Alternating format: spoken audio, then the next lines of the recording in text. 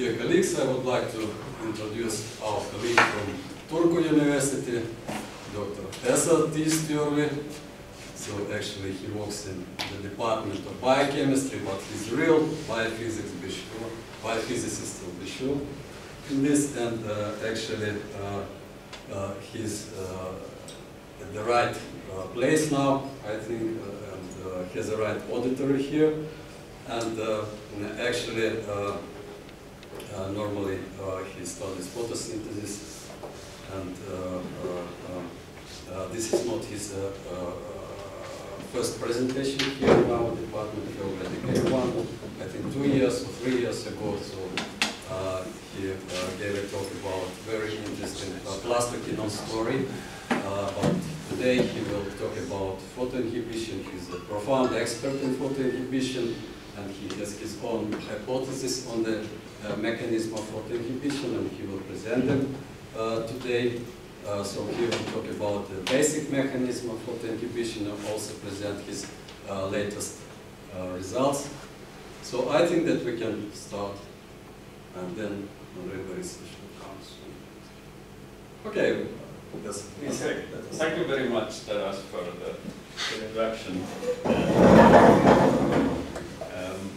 Taras asked me to uh, present some general data about photo inhibition of autism as well, so because uh, uh, uh, so I will not only um, look at look at um, the recent results, but also some introduction. So. Um, the thylakoid membrane just uh, to uh, have the first slide for those who uh, might not be studying photosynthesis in thylakoid membrane. We have photosystem 2, uh, photosystem 1, cytochrome complex and the ATP synthase.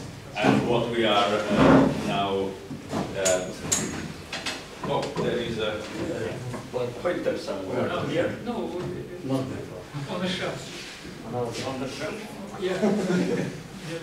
Oh yeah. Oh, yes. Okay. Uh, this one, this point. Yeah, this is good. This is a good pointer. No, we don't.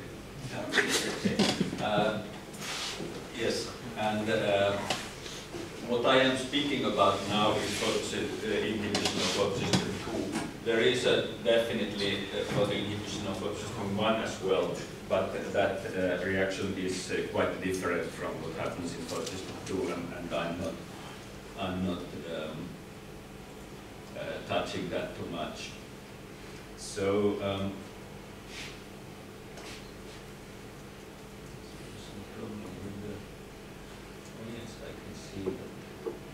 No.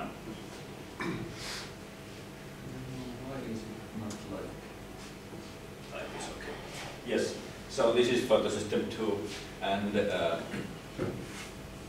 um, in photo inhibition, uh, we very often discuss the D1 protein, which is uh, central to photo inhibition because uh, the recovery process from photo inhibition is uh, uh, uh, quite interesting because it can uh, recirculate all the other proteins, but the D1 protein is kind of singled out, degraded enzymatically, and then replaced to the whole complex.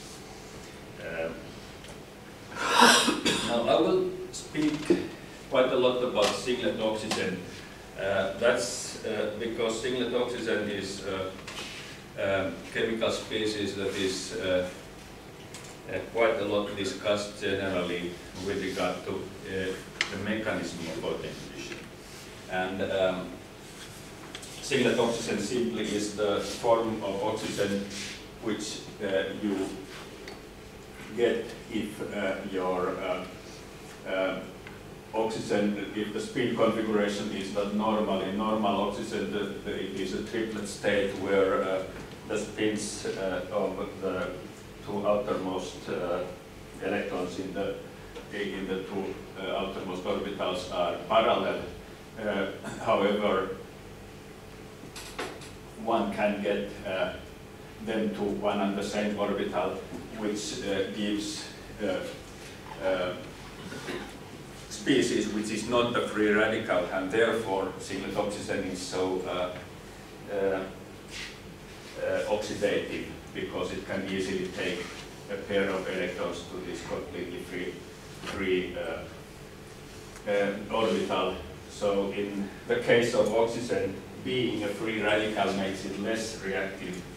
Uh, this is kind of paradoxical for most chemists who think that free radicals are always reactive. Singlet oxygen is radical because it's not a free radical. Anyway, free singlet oxygen is usually um, made by um, exchange of uh, energy and, uh, uh, and uh, um, uh, spin between a triplet state of a pigment molecule and uh, normal triplet oxygen, uh, which uh, this meeting ends up with singlet state of oxygen, which is an excited state, and the ground state of the pigment molecule, which is also a singlet state. Uh, and uh, uh, this is the most common mechanism by singlet oxygen formation, and chlorophyll is very good in making singlet oxygen. So if you put chlorophyll solution uh, to a window and wait for some time, it will bleach, and mostly because uh, it uh, uh, makes singlet oxygen, and the singlet oxygen reacts with chlorophyll, and that destroys the chlorophyll itself. In photosystem, uh, photosynthesis, uh, it is usually considered that most singlet oxygen, I mean the results also show that most singlet oxygen comes from photosystem 2. Photosystem 1, even though it uh, has uh, the possibility of the triplet uh, formation of triplet P700, does not make much singlet oxygen. Also, the antenna treatments do not seem to be important producers of singlet oxygen. So, um, uh, the triplet state of the primary donor is the most important singlet oxygen producer in, in photosystem 2 and in whole uh, photosynthetic system. So now we go to photoinhibition of photosystem 2.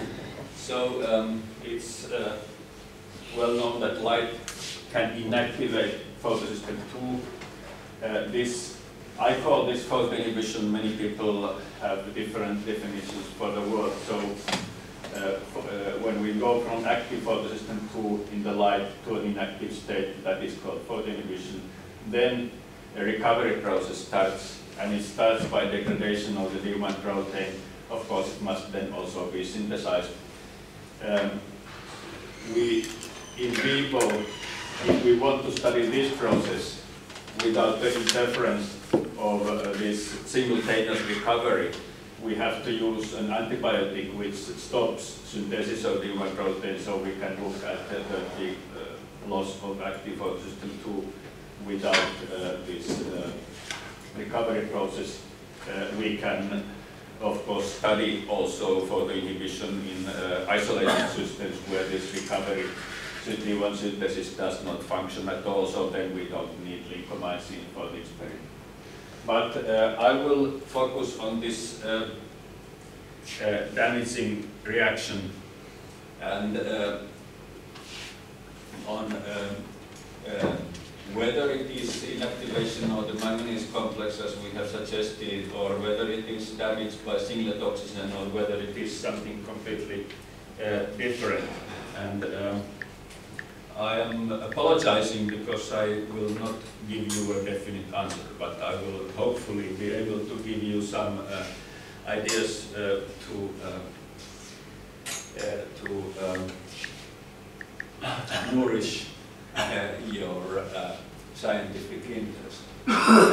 we measure photoinhibition quite easily because it is a very clear first order reaction. These are just different experiments with photoinhibition. So we can define rate constant of photoinhibition, which is basically, of course, the, the initial rate of the reaction. Um, and um, here we should remember that this can only be measured either in isolated system or if we measure it in vivo, we always use lincomycin lincomycin is the antibiotic which stops human protein resynthesis. Otherwise, we are uh, not measuring the uh, uh, damaging process alone. Uh, there are lots of suggested mechanisms for photoinhibition. Uh, coming back from the 90s, there was the mechanism called acceptor side photoinhibition. Um, uh, I will go through all this. Uh, uh, this is just a list now. Then there is a donor side uh, inhibition mechanism, and there is a suggestion that actually photoinhibition is uh, uh, not initiated in photosystem 2 at all, but some singlet oxygen that comes from the outside of active photosystem 2 could cause photoinhibition. Then there are several mechanisms about uh, uh, photoinhibition being caused by Excuse me for. uh, I I know you are very well, yeah, yeah, yeah. I, I heard you, uh, you would have to be in some kind of meeting for this. Yes, uh, then, um, um, there are several mechanisms uh, about uh, how singlet oxygen uh, that uh, would cause photoinhibition would be uh, produced in photosystem 2 by the recombination reactions. Uh, the recombination reactions are uh, the only important way, way by which uh, the triplet state of uh, uh, P680 could be formed in any, any big amount.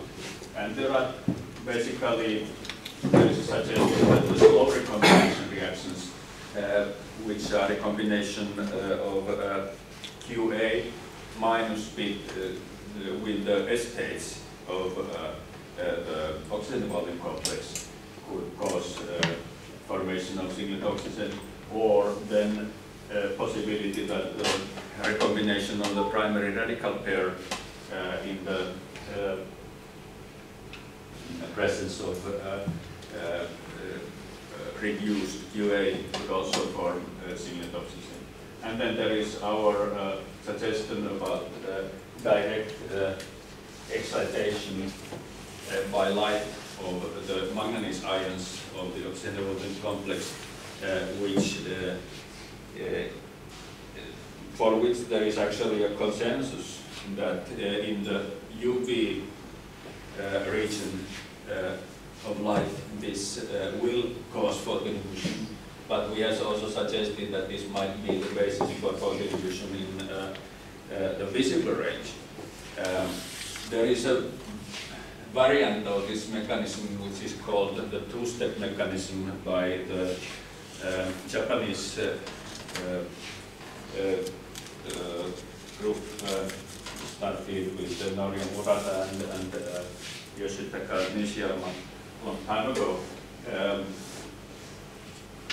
um, who stress the idea that the, if you destroy somehow the manganese complex first, then that will cause uh, later damage uh, to photosystem 2. Um,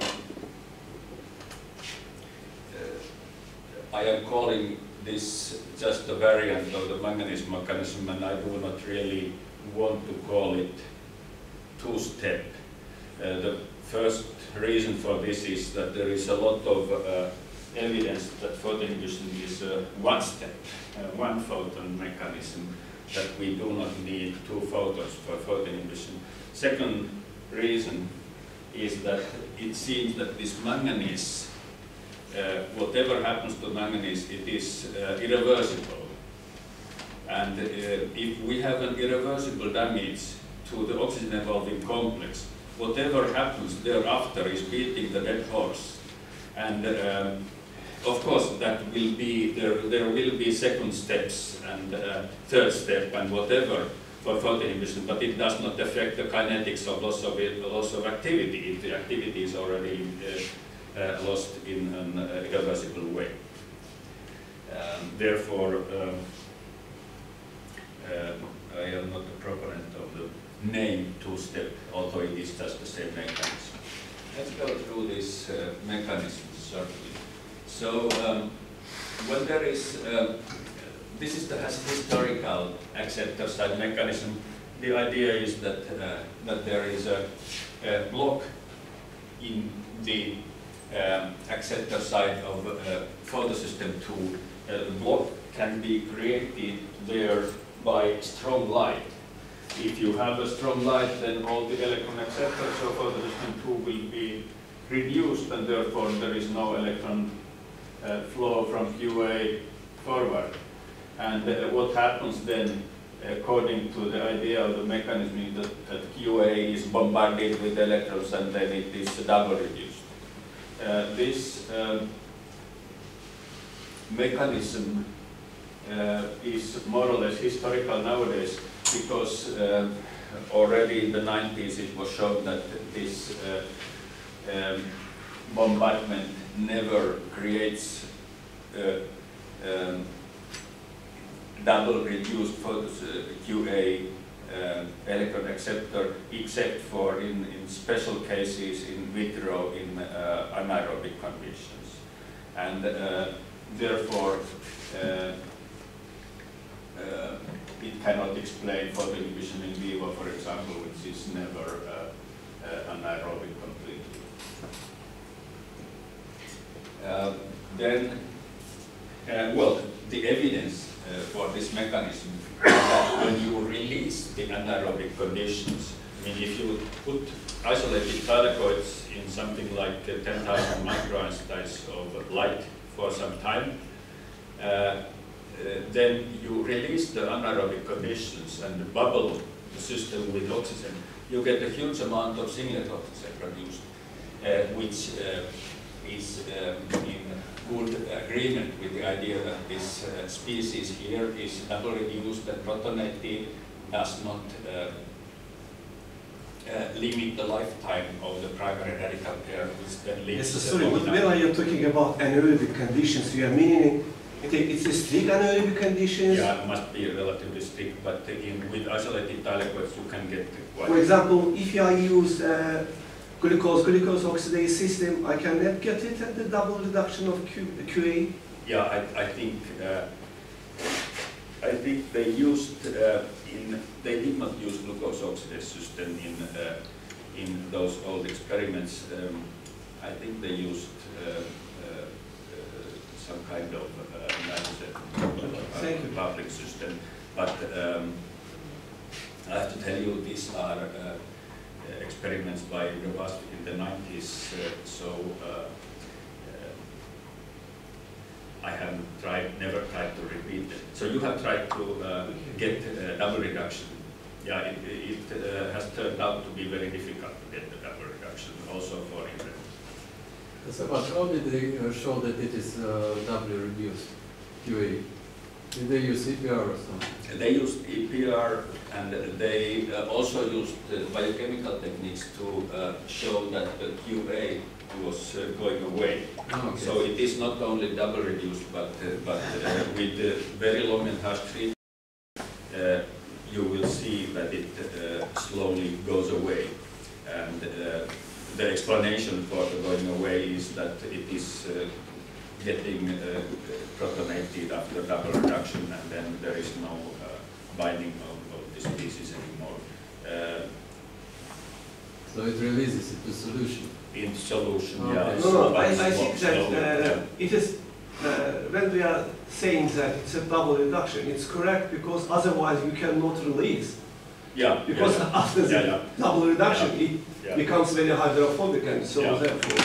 Yeah, but the, um, the um, experimental conditions for this are also relatively high. So uh, you cannot do it with something like sunlight intensity. You have to go to much higher light intensities as well. So therefore, this is the other reason why this is, usually people consider this historical because uh, uh, it is kind of a possibility to get inhibited photosystem to, however, not very uh, probably the, the, the, the thing that happens in, in milder conditions, which are usually applied by Well, these and nowadays. uh, also a small minor minor question. if Qa QA is released, why fluorescence is, goes down, maximum fluorescence?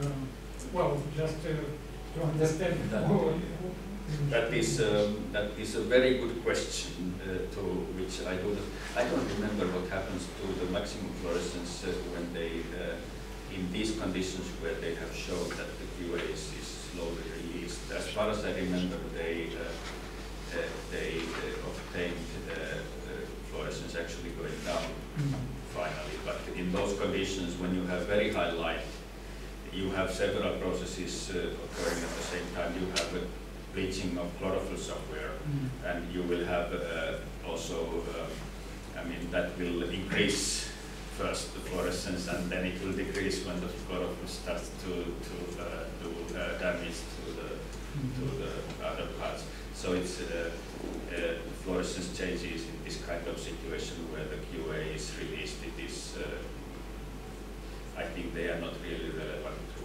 uh, to uh, the or. Okay. Um, then we have the donor side photoinhibition. Um, this is um, uh, actually um, uh, this was studied already in the in the 80s um, by looking at what happens if you um, simply wash out or reduce the manganese complex and wash it out with something like uh, hydroxylamine and uh, then illuminate uh, photosystem 2. Uh, what happened uh, was uh, clearly uh, inhibition of uh, the remaining oxy- the remaining activity of uh, photosystem 2. Uh, of course, if the manganese complex is uh, not there, uh, there is no oxygen evolution, so the remaining activities are the electron transfer activities from here. And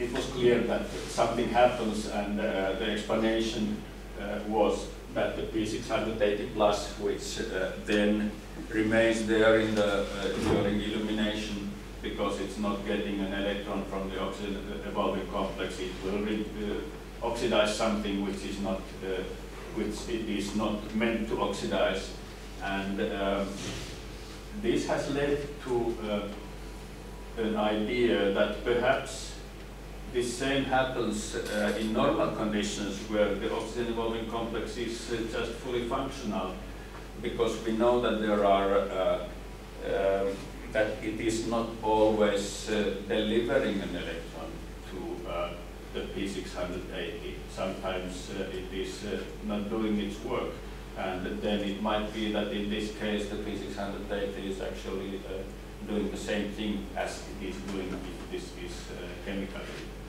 um, destroyed. So this is not actually a kind of hypothetical mechanism. Um, it is well known that this mechanism, uh, uh, basically everybody agrees that this mechanism functions if we have the manganese complex chemically inactivated. But whether it happens when it is just stochastically inactive in vivo, that is a, matter of discussion. Uh, it is not generally accepted. Um, in these damages, uh, oxygen is not important. Uh, and this is an important uh, thing. So if, the, if you damage the manganese complex, you do not need to supply oxygen to get damaged by P680 plus because uh, oxidation of uh, nearby pigment or even protein uh, residues by uh, P680 plus would not be dependent on, oxy- on oxygen.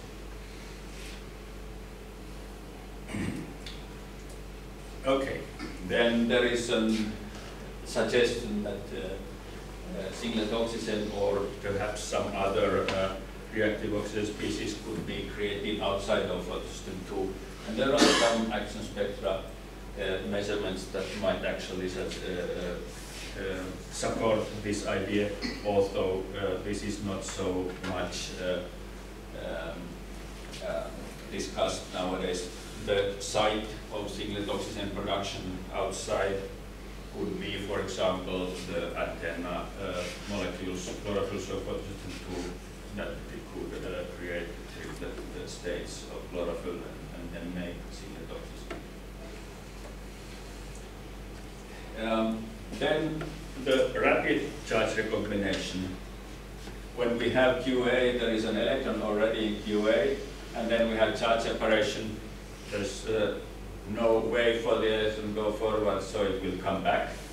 This, uh, in some cases, produces uh, excited state of the uh, um, uh, primary donor, and in some cases, the primary donor uh, actually gets to the triplet state, and this triplet state is a triplet of a pigment. It can react with oxygen and create singlet oxygen, which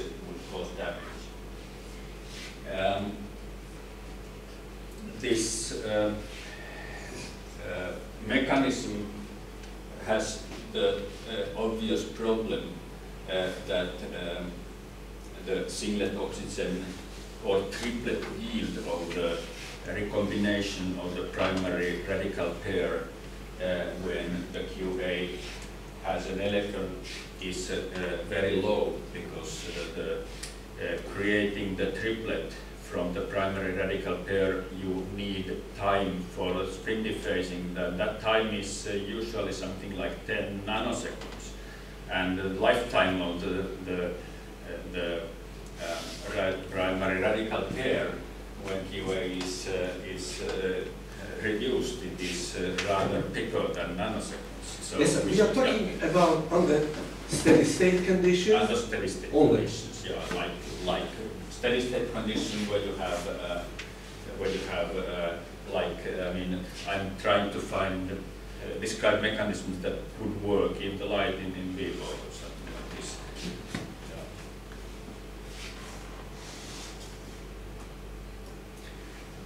Yeah. Okay, then there is a mechanism which definitely causes uh, the formation of triplet with high yield, and this is uh, when we have uh, normal charge separation and we have enough time, electron goes to QB, and, um, and uh, P600 uh, plus is reduced by the oxygen evolving complex, but then for some reason the, you, you wait for uh, 10, 20 seconds, and then uh, if there is no other electron coming, then the electron from QB, it will, uh, depending on temperature, it will uh, not feel well, and it will uh, come back, and they combine with the, the hole which was in the, in the manganese complex, and uh, then the chances of getting a triplet state of the primary donor are very high.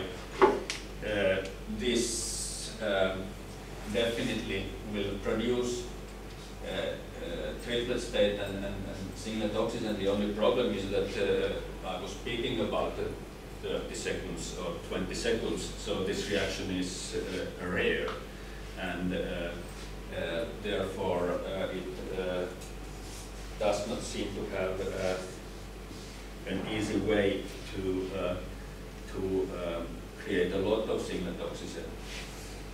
Um, So- yeah. What about recombination between QA minus and S plus state? Oh, yes, that is, It uh, should be that is, faster. uh, that is uh, faster. Uh, uh, And actually, I'm going to discuss that thing separately.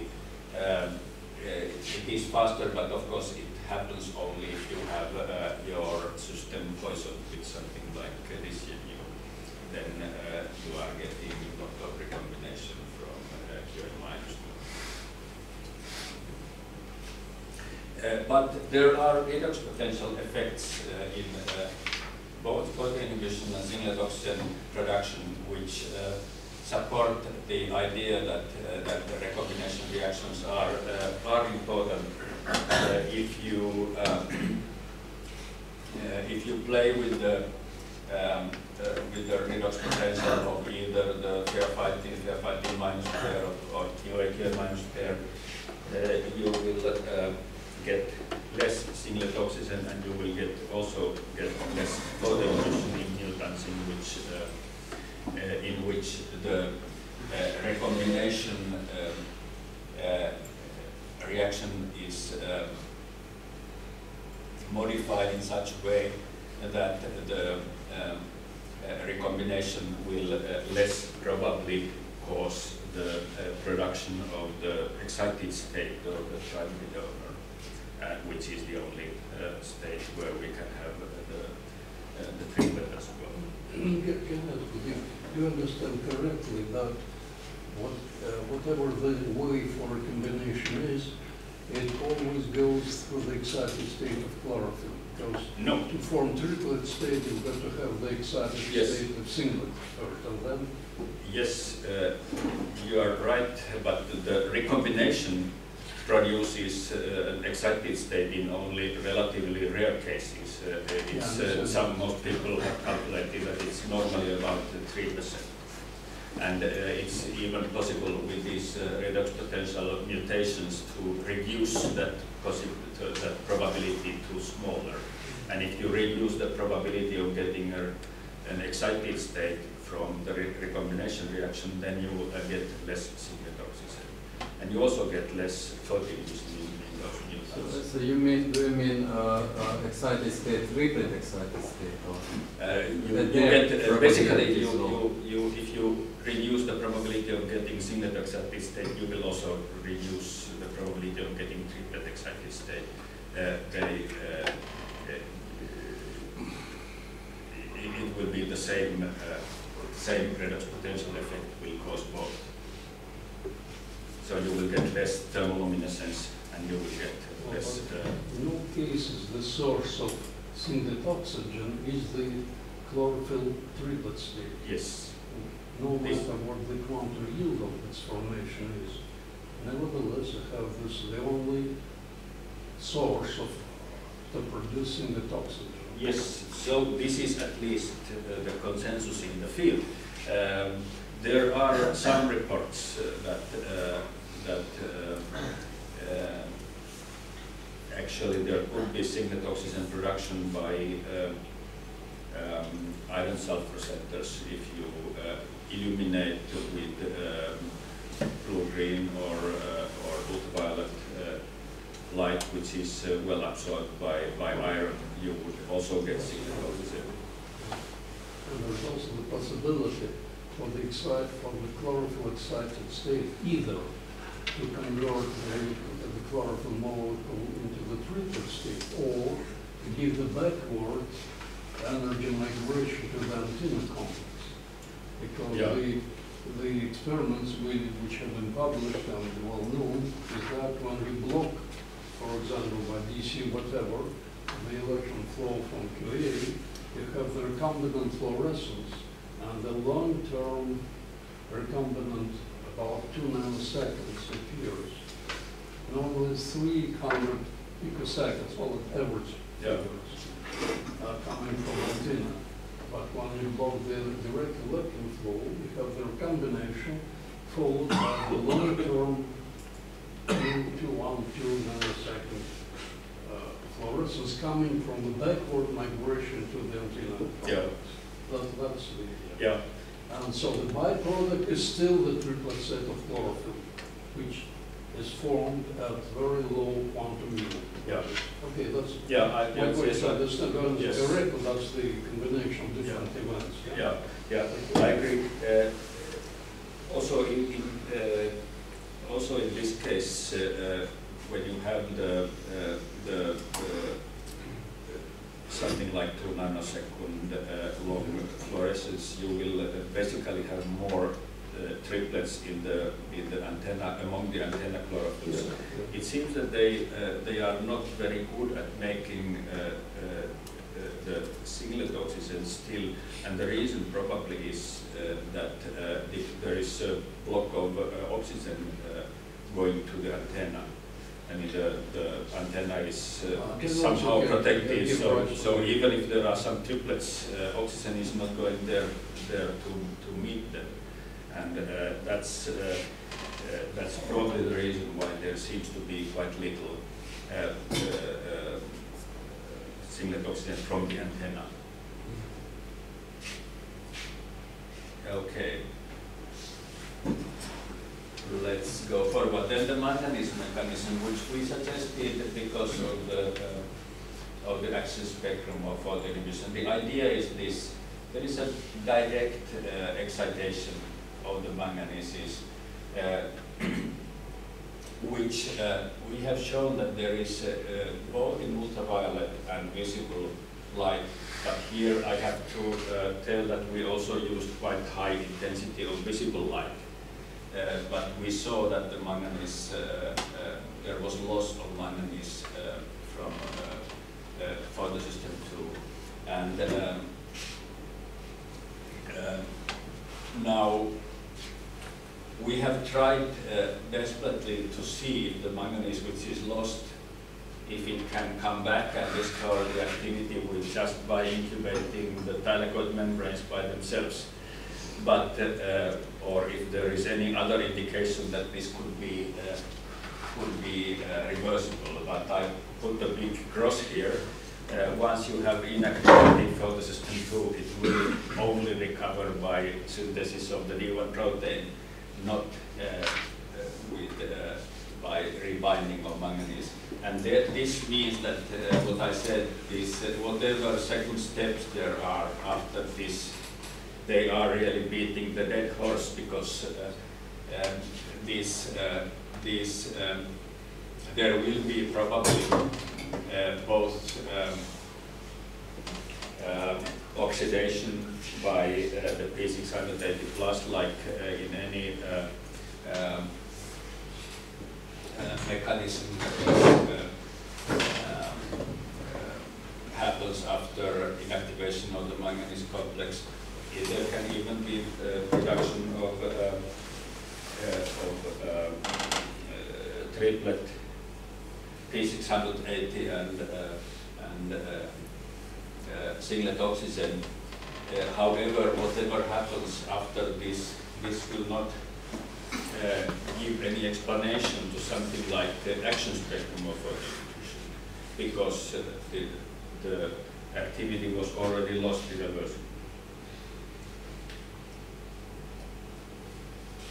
So just uh,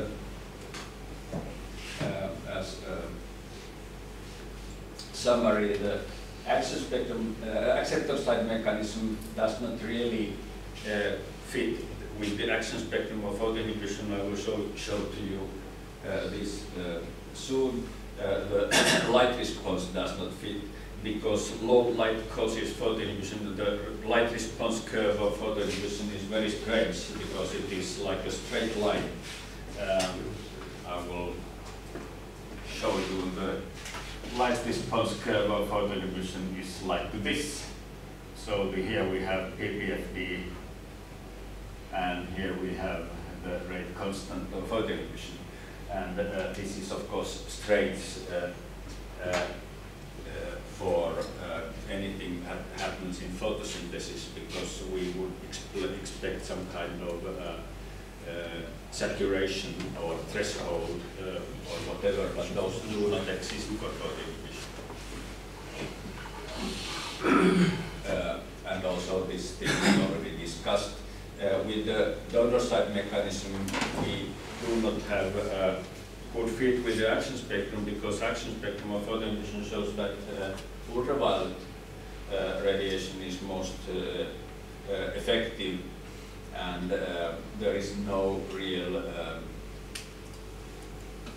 reason for this in the action spectrum uh, of donor side. Uh, uh, in the, donor side mechanism, also the singlet oxygen does not have any role in uh, the donor side mechanism, and we know that there are some uh, um, compounds that protect against singlet oxygen, they also protect against photoinhibition. So donor side mechanism cannot be uh, the only one that happens. Um, this idea that the singlet oxygen is produced, produced outside the, the reaction center, uh, they uh, are difficult to understand with regard to the fact that further photoinhibition occurs in anaerobic conditions. Um, uh, this is also quite difficult to, uh, to, is also difficult to explain why we have, uh, uh, why we have anaerobic uh, photo inhibition if oxygen, wherever it is produced, uh, how it, how it could cause photo inhibition. Then um, those slow reactions, uh, mainly the problem is that they are too slow, but I will so- soon show some results too. So uh, uh, let's get rapidly out of this list. We already discussed most of these things. Uh, So um, I will discuss uh, uh, this, um, the action spectrum of photo inhibition is actually uh, so universal that we would uh, blame the manganese complex for all photo inhibition, and especially if the antenna complex uh, organization affects uh, uh, the action spectrum of inhibition. This is this question is important because if the antenna composition affects then it is not possible that the manganese ions alone are uh, acting as the, uh, the, the photoreceptor of photoinhibition.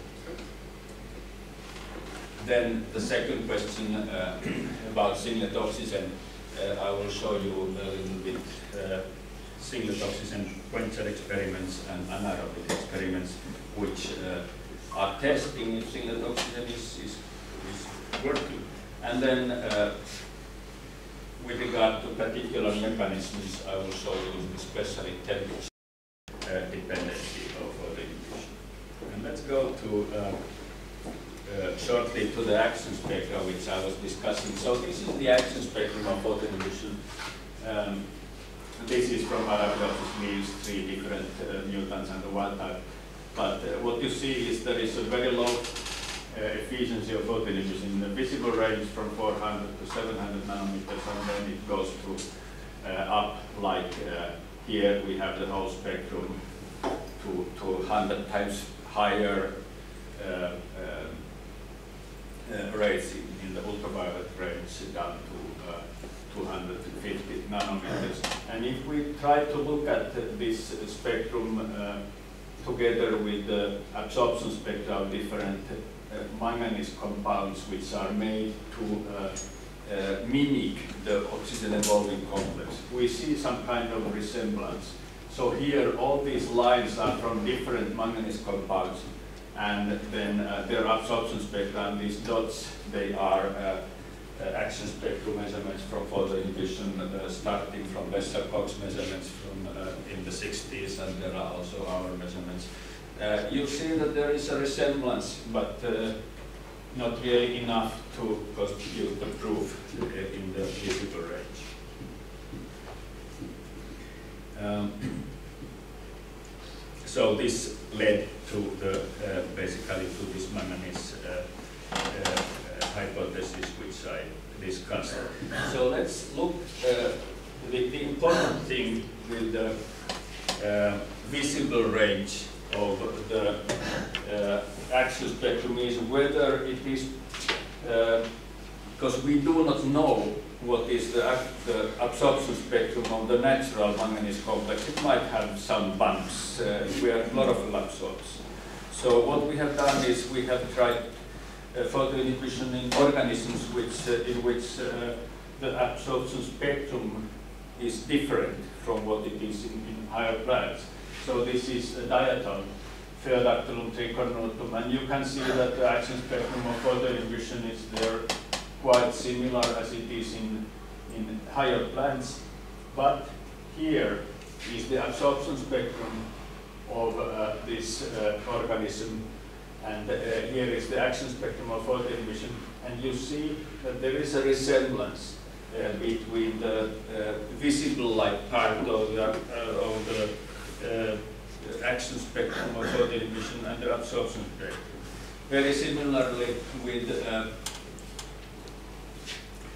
marine cyanobacteria, these are, uh, uh, are two, two uh, uh, species of Prochlorococcus and one marine Synechococcus, you see that they have uh, uh, they have different uh, wavelength for the red absorption peak uh, because these two species uh, have, uh, actually these two have uh, um, different uh, type of uh, A. They have the, uh, the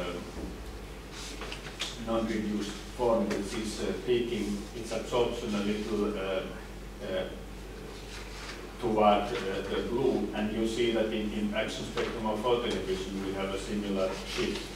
There are also other uh, peaks in the action spectrum of photoinhibition showing that actually the uh, absorption spectrum of the organism is affecting the, the antenna compo- composition affects photoinhibition, which means that unfortunately uh, my manganese mechanism is not, uh, it is universal, yes.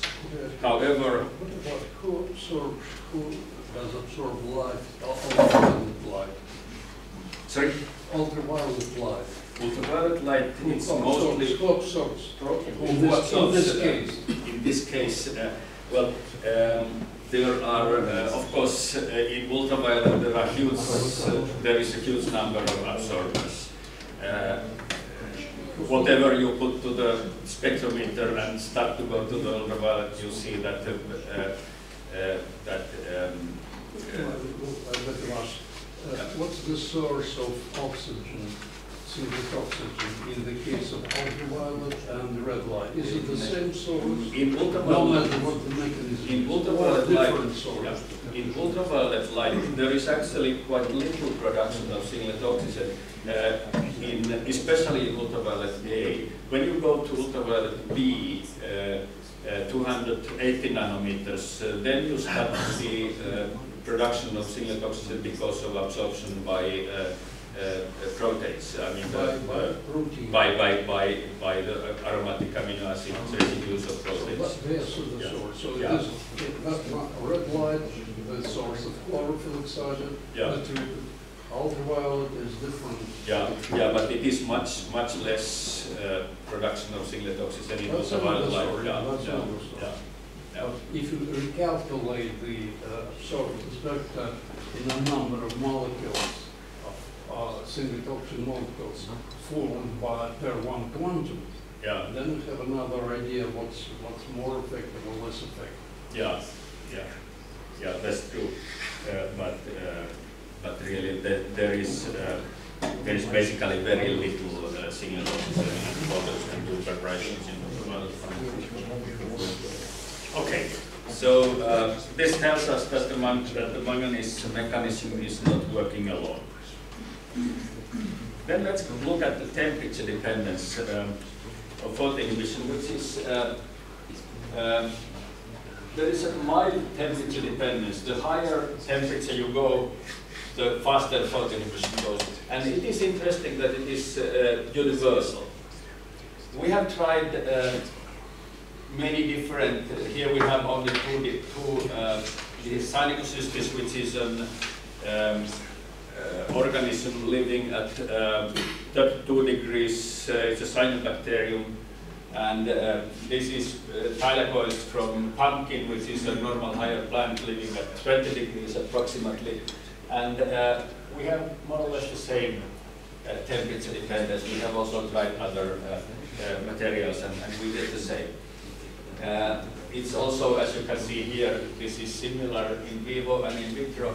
And what is important, that there is a lot of uh, photoinhibition uh, around uh, 5 degrees.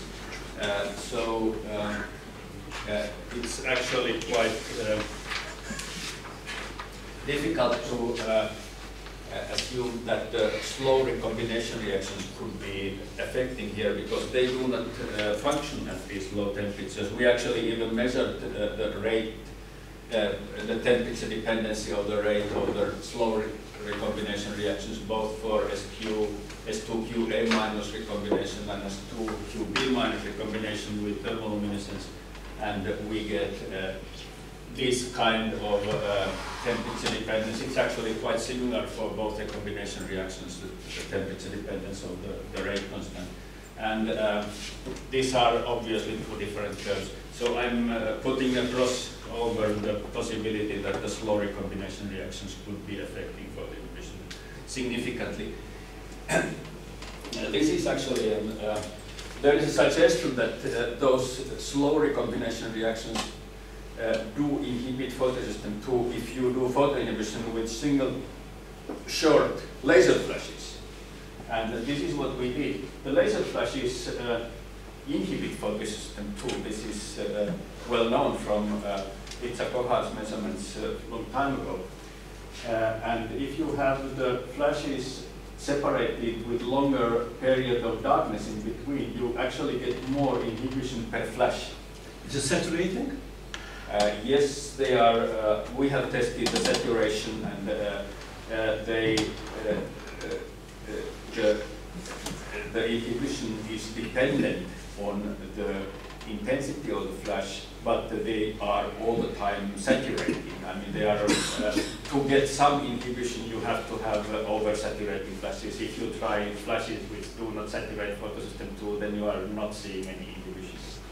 How do you measure photo inhibition, the result? The- the No, just uh, we just take Absorbance decrease. No, we, we, we measure oxygen evolution. Oxygen evolution. Yeah, so we just flash the sample, take it away, By measuring oxygen evolution directly, yeah? uh, well, with Well, the, I mean, we- with the, with it's the oxygen the result, it's, by the way, you did measure the result of inhibition. You Yes. measured this, the oxygen production as the possible, well, a reasonable source for inhibition, yeah? As, So as there a reasonable what sign of the. What I'm driving at is this thirty seconds of flash of interval.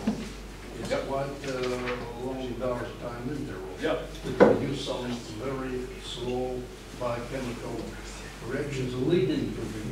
yeah, it might be. It's Yeah, uh, yeah. 30 30 seconds, something far beyond the photo, photochemistry. Yeah, yeah. Yeah, uh, this, uh, actually, this strange thing, that the fl- flash interval seconds, you get much more inhibition than if you have a shorter flash interval. It was, uh, the, the, the original explanation was that there is a recombination reaction from between QB minus and S2 state or S3 state, which uh, creates singlet oxygen, as we, uh, we already discussed earlier.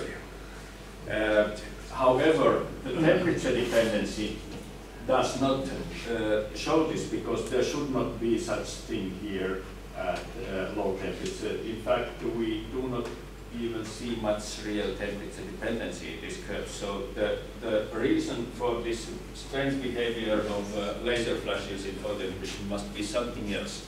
And we do not really know what it is. Biochemistry, thirty seconds of biochemistry, leading to photoinhibition Yeah. is something very strange. Yeah. Yeah, it is very strange. And we, uh, for this, I think we have uh, killed the standard explanation, but we do not have a new one. We have tried the uh, temperature dependency in different uh, wavelengths, and uh, as you can see, if uh, these are just the raw data, and you can see that in uh, if you go from ultraviolet to blue to red light, you get a little steeper temperature dependence. And it might be that there is some kind of uh, heterogeneity, that there is a different reaction in, uh, prevailing in ultraviolet than in red light. So it could be like, uh, like temperature dependency of the manganese uh, damage alone in ultraviolet, which is going toward temperature dependency of singlet oxygen production in, uh, in uh, uh, visible light. And actually, what is interesting is that singlet oxygen production and uh, photoinhibition have the same temperature dependency. Uh, so this is uh, uh, photoinhibition, as I showed you before, and this is uh, from similar thylakoid preparates uh, measurement of the, the rate of singlet oxygen production. And I think this uh, tells us that singlet oxygen at least has something to do with photoinhibition uh, also. Uh, uh, uh, it can be either cause or reason. Um, I mean, it can be either either the reason for photoinhibition or some kind of uh, side effect of photoinhibition. So did you measure it with TEMPO? No, this is measured with the, uh, with the histidine method Oh, of, okay. uh, of It's, it's very simple because uh, um, histidine reacts uh, very efficiently with singlet oxygen. So when you put a lot of histidine uh, together with something that creates singlet oxygen, eliminate it, you will see oxygen uh, uh, concentration going down. And when you do this, you, of course, you have to compare without histidine and with histidine, you see much higher uh, loss of oxygen with histidine, and that is. So Uh, the difference between photoinhibition and synthetic oxygen here, in terms of what did you measure is this? Oxygen is direct, uh, you measure different things here. oh yes, these are completely different things. Uh, this is this is production of singlet oxygen, and this is uh, inhibition insulin. Uh, uh, that, that this is just uh, temperature dependencies. They are measured also in a little bit different conditions. To measure singlet oxygen, we have to put uh, higher light, more, more light uh, to 3000 microns just to get enough signal. Okay. Um, but then, I mean, all this looks like singlet oxygen is very important, but then if we try to uh, do uh, singlet ox- oxygen scavenger and we try to, use histidine for that, histidine is a good scavenger of singlet oxygen, we are not getting any effect on photoinhibition if we put there histidine. If we put more histidine, there will be more inhibition, but that is probably because histidine might not be so good- healthy for, for our thylakoids. And the other thing is that in anaerobic conditions, uh, this is also that we are measuring temperature dependency all the time. We get the same temperature dependency as in aerobic conditions. However, the rate of inhibition of photosystem 2 is much higher. And this does not make sense for the singlet oxygen at all, because in anaerobic conditions, we should not have any singlet oxygen unless singlet oxygen is created with some, some very exotic process. So these experiments do not support singlet oxygen, but many experiments uh, do support it. So therefore, uh, the conclusions are, are, uh, are, are a little bit like uh, uh, uh, dualistic. We have uh, anaerobic photoinhibition speaks, speaks against the importance of singlet oxygen, and and uh, but on the other hand, singlet oxygen seems to have uh, a role according to other experiments. But let's look at how singlet oxygen is produced, because this is uh, also the temperature dependency can can uh, tell something about this. So sorry, can I ask you, Yes. how do you keep uh, anaerobic conditions? in Uh, in, we have we have actually tried anaerobic conditions with many ways. We have tried uh, this one particularly is done with glucose oxidase, glucose catalase. Uh, however, we have done it with uh, by bubbling with uh, uh, with nitrogen. So And uh, two also produces oxygen, Jenny. sorry, These two also produce oxygen. this two produces oxygen, but first of all, to produce oxygen with singlet oxygen, uh, with PS2 you need an electron acceptor. Oxygen can function as an electron acceptor, but if you remove oxygen from the solution, you are not having any electron acceptor, so you are not going to get oxygen from PS2 in anaerobic conditions. There is no oxygen evolution. Uh, there is no oxygen evolution if you do not have an electron acceptor. There is also oxygen consumption. Yeah, in the presence of uh, oxygen, you will have oxygen So production and oxygen consumption. From oxygen, from water to oxygen actually. So Yeah, from water this to oxygen, you will have both. cycle. You will always have uh, uh, production of oxygen from photosystem 2 even if you don't supply an electron acceptor. However, if you remove the oxygen, then you, then you are lacking the electron acceptor, you are not going to get any oxygen production. You're absolutely right. Yeah. Yeah. Yeah. Therefore, uh, i- well, we actually tried this also in the presence of uh, uh, DCMU to make sure that there is no electron, uh, that there is absolutely, but it does not make a difference in, in this sense. Uh, But let's go to uh, look at the recombination uh, reactions. Which one would be the one that produces the oxygen?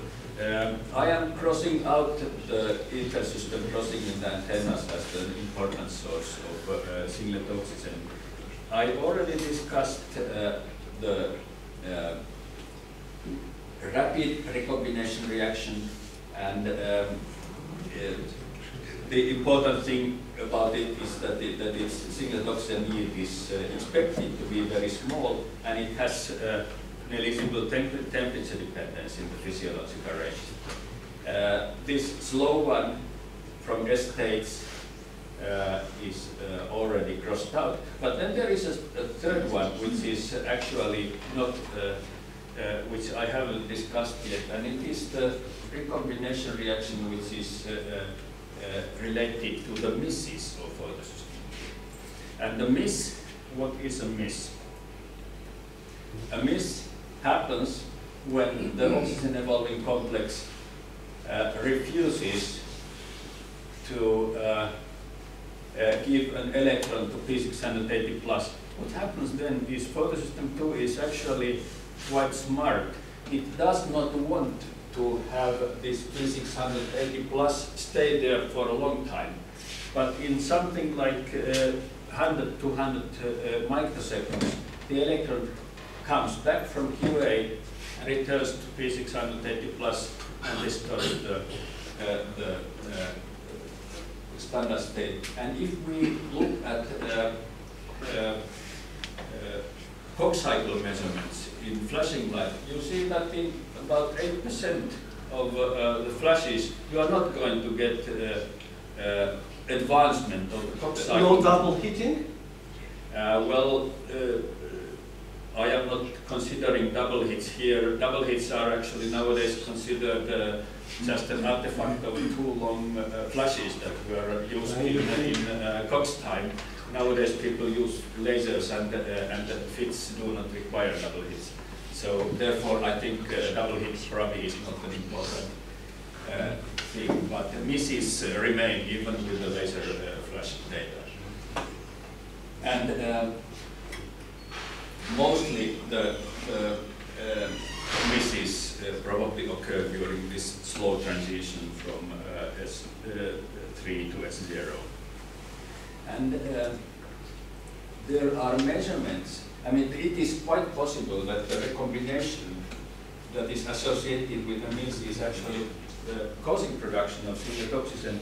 And uh, it's interesting to compare the temperature dependency of the misses with the temperature dependency of the singlet oxygen production. So this singlet oxygen curve is the same as we uh, I showed to you uh, shortly ago, and uh, this uh, temperature dependency of misses from spinach are uh, measured by uh, the Messinger group already more than 10 years ago.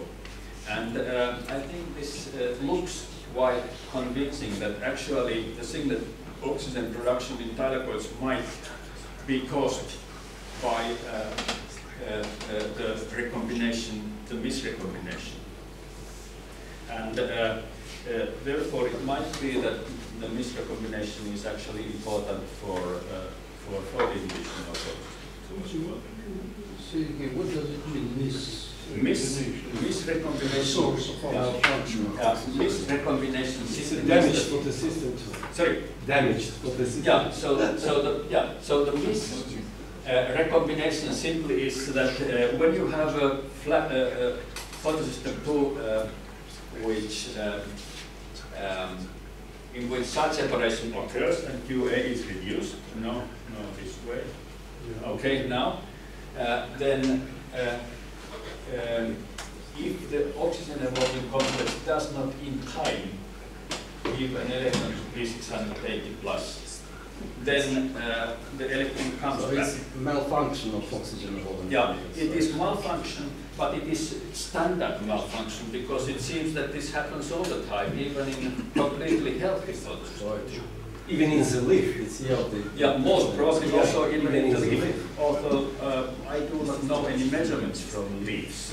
No, but there is, the- I don't know, I based on the data by, obtained by Govindjee. Yeah. Yeah, yeah, I, uh, I assume that it happens even in the, the measurements are all in. And this recombination is uh, quite possible that it can cause uh, production of singlet oxygen, and then this singlet oxygen might damage photosystem too. So the, the, the- let's say, Идеально the ничего. retardation of the electron from oxygen Yeah. into the complex. Yeah, exactly. Peak loss is just waiting for an electron to come. Yeah, And the electron doesn't come from the, uh, from water splitting. Yeah. Then it waits for the electron coming back from, uh, well, yeah. Then the electron from here will uh, will come And and it waits for yeah. Yeah. And, uh, but once it comes to the T plus, yeah. where does it go? Directly to T plus to reduce the uh, ground state or to the excited state? Uh, as- as- Also here, also here, uh, the excited state is recreated, but only in a small fraction of the cases. In most cases, it will not uh, uh, create the excited state. But this is normal recombination UN minus, and, and if it goes via the pheophytin then uh, it will, there will be the primary radical there as an intermediate, and then it is possible that you get the, the excited state. But again, the actual source of oxygen, uh, singlet oxygen production should be what? Triplet state of Yeah. chlorophyll. Yes. So to, to form the triplet state, you have to go to the excited, Yes. singlet excited state. Yes, uh, well, uh, So yes. P plus Yeah. doesn't play a role in this case, just No. waiting for the No, electron. waiting for an come. electron, exactly. But It takes some time, when it comes, it forms the excited state, then triplet state, and then oxygen as a byproduct of the triplet Exactly, is exactly, exactly. That's the same thing. Yeah, So the sequence of events, yeah? yeah, yes. Okay, then I will show you, is it, we're going too long Hmm? Already. Unless yes. Already. I can show you, so, I mean, I just get got to the results now. Uh, which are, what is the, uh, there, there are two, in, two interesting things I'd like to share with you, but they are actually quite short. Uh, we are, uh, we've been looking at uh, whether newborn oxygen is uh, dangerous to photosystem. And what is, new, is newborn oxygen is the oxygen that was just made. And uh, it is made quite near to the P680 uh, So it might be converted to singlet oxygen, damage. Uh, so what we did, we did so-called uh, membrane inlet mass spectroscopy measurements, uh, in which we can simultaneously measure production of uh, oxygen and consumption of oxygen simply by uh, replacing the air with 18 uh, O2 air and water is normal water with 16 um, O2. And uh, normally when we measure um, uh, measure oxygen, we see in thylakoids uh, slow decrease of oxygen because it is consumed uh, a bit faster by photosystem one. Is than it, it was measured by fixed temperature? This is it at fixed temperature, yeah, here we do not have. Uh, But with this MIMS device, we can see that there is an evolution of oxygen. This is 16 oxygen because our water is 16 oxygen. And then we have a decrease uh, of the uh, oxygen at the same time, but this is decrease of, uh, uh, of 18 oxygen, which is in the air. And this is the, the same net curve uh, the, uh, that we see. We subtract those two from each other. If we now put their uh, histidine uh, in the system, uh, histidine, as you remember, is, uh, uh, reacts with uh, singlet oxygen. What we see is a big difference, or not so big, but anyway, the difference is there, but the difference is in the consumption of the 18 oxygen. So the 18 oxygen which is in the air, it is consumed, which means that uh, the singlet oxygen source of singlet oxygen is uh, the 18 oxygen that is in the air. However, this is the production of the uh, 16 oxygen. This is the newborn oxygen. And there is absolutely no difference in the uh, amount of uh, newborn oxygen released to the air, which simply means that the newborn oxygen goes away from photosystem 2. It is not converted to, to, uh, to uh, uh, singlet oxygen. Well, sometimes it will maybe come back, but not immediately. Which means that photosystem 2 is uh, completely protected uh, by probably by, uh, uh, by conveying oxygen away from there by these oxygen channels so that oxygen that was just formed in photosystem 2, it is not dangerous to photosystem 2. It is not cons- co- converted to singlet oxygen. Okay, then there is one result which is uh, really, but this is the only one I will show to you.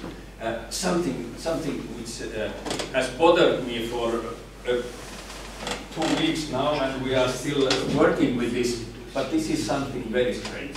Maybe this is just uh, artifact uh, due to the measurement uh, device, uh, measurement system of singlet oxygen. Here we are using a compound called singlet oxygen sensor green, which is a sing- singlet oxygen trap compound, changes its uh, uh, fluorescence with uh, singlet oxygen. And when we incubate, uh, illuminate thylakoids in aerobic conditions and anaerobic conditions, with this singlet oxygen sensor green, we get more singlet oxygen in anaerobic conditions than in aerobic conditions, which is completely nonsense to me. Uh, well, uh, we have done uh, already some experiments uh, to see if this is nonsense. And the most strange is that if we kill with Tris treatment the oxygen evolving complex, we lose this reaction. There is no uh, singlet oxygen production uh, in uh, system measured with this singlet oxygen sensor green if we kill the oxygen evolving complex in, in the treatment. It's a- the same result you can get uh, using the hydroxylamine amine treated. We haven't tried hydroxylamine yet. Okay. Yeah, but uh, we are we are working with this. But if you have any suggestion what this could be, I would really be happy. Uh, except that we of course try to see if it is some kind of an artifact of the sing- singlet oxygen sensor green. But uh, if we just incubate this dye with the rose bengal in anaerobic conditions, we are not getting singlet oxygen. It is not, uh, it is not a simple artifact, it is some artifact which has something to do with the oxygen evolving complex. If it is an artifact. This is very strange. Um, okay, conclusions we have already uh, already gone through. I think misses are responsible for singlet oxygen. Uh, direct excitation of manganese explains only part of water inhibition. And uh, then this last result can change everything uh, with regard to singlet oxygen and photo inhibition. And these are the people who are involved in, in these uh, studies, uh, and most of the singlet oxygen experiments and um, the other people, and we have also two uh, more senior people who are involved in, in uh, uh, this stuff. And Taras is, uh, as you maybe know, uh, regular uh, visitor in, in, in my lab and, and has worked a lot with, with these things as well. So thank you very much for, for this very long seminar. Yes, sir. When you say it is very strange results, you mean that it is empirical fact, but we do not have Exactly. Ex- It is, uh, it is an explanation, it's empirical correct? fact. We do not have, uh, we do not have an explanation for Yeah. this, but. But it's uh, a fact, But it is, fact. uh, it is uh, very well confirmed. We have done this experiment many times and we see this result all the time. Uh, You showed that uh, temperature dependence for uh, photo inhibition is rather uh, mono- monotonic and it increases with temperature. Yeah. And I remember that uh, photo damage of leaf is, uh, occurs stronger in, uh, if in the, in the cold. If the leaf is uh, the cold part, yes, yeah, I saw, I remember some, saw uh, images of this, how part of the leaf which was kept in the cold, If it is for the damaged, and the craftland which was. Yes. And this- the explanation is just recovery because of Yes. the recovery. Yeah, In this experiment, exactly. recovery was excluded. Yes, in these experiments, we, we always uh, Then uh, exclude the understand. recovery, because otherwise we would uh, really see the same as you as you Yeah, you, you saw, you, Yeah. you told us. Yeah. about it. Yeah. Yes, I have a minor comment. Uh, because of course a lot of people are doing experiments related with understanding the mechanism of photoinhibition. But according to my understanding, it is impossible to find universe mechanism because we are doing experiments in different type of organisms. For example, if you take low plants, they are able to synthesize a lot of low molecular mass component like trehalose, which is a very good quencher of reactive oxygen species. In the case higher plants, you do not have trehalose, you have sucrose, you have glycine I don't know, may- maybe they are. So therefore, is I am correct when I say that it is impossible to get universe mechanism? I do not think that, uh, that um, um, this would uh, uh, make it impossible to, to, to design a universal mechanism. There are uh, differences in, uh, in amounts of uh, quencher compounds like the carotenoids, and still we try to look at the universal mechanism that would be able to uh, to explain uh, the effects of these uh, quenchers, like carotenoids or. Uh, I think uh, they are, um, this kind of differences between organisms should not be considered as a, uh, making it impossible, but uh, they are like uh, challenges and not uh, obstacles. Yeah, correct. Yeah. But I agree that there, there are differences between organisms. But what is strange is that there are not big differences in the temperature dependency. There are differences in the action spectrum, but not so much in temperature Any other questions? Okay, then we'll let's thank So all of your please come again.